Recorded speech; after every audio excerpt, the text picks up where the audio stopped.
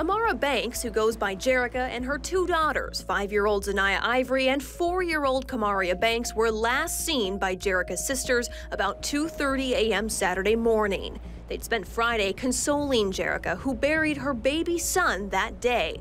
He died from health complications. And they all had plans to get brunch Saturday afternoon. She's like, Mika, don't forget to not come get me in the morning. I said, no, I'm gonna come get you, I'm gonna come get you. No one has seen or heard from her since.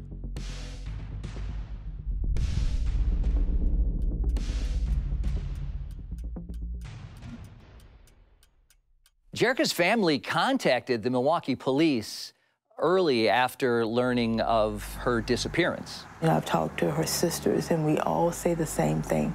It's not like her just to take off and not let us know where she's going. I thought maybe she wanted to get away from him because she was so angry with him. And maybe she had gone somewhere and taken the kids, you know, and it was just like a waiting game, you know, just waiting to see what happened, waiting to see what happened. Jerica was a creature of habit. If you didn't hear from her one day, you would hear from her the next day. And I kept calling her phone and calling her phone and, and getting anything.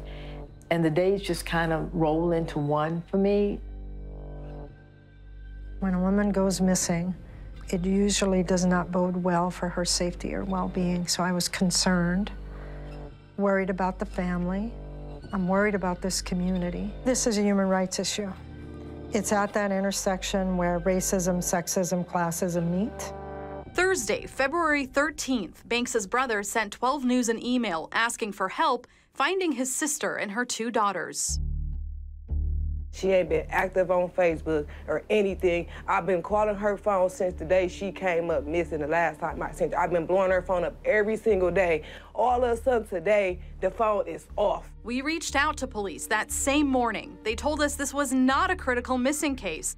I believe whites feel safe with police because a large part of the police force is white and they can empathize with whites. But when whites come into the black community, Sometimes they may not understand the culture.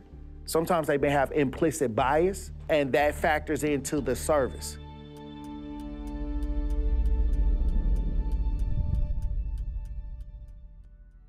The first response from the Milwaukee Police Department came after reports from witnesses who said they heard and saw a woman yelling for help, arguing with a man outside of an apartment building on the north side early in the morning on Saturday. They called police to report it. Police arrived at the scene but said they could not locate the 911 caller or any disturbance. That big picture window, that would be my living room. That would be her living room. I hear like loud thumping and I hear a lady screaming, help, help, help. I hear a man yelling, and then I hear her saying, but I didn't even do anything. I called 911 when I heard her screaming, help, help. I come back, look out the window. He's pulling her from that door right there. He's pulling her from over there back into their apartment. I put my ear back to the wall. The last thing I heard her say was, please don't kill me. And then it just got silent.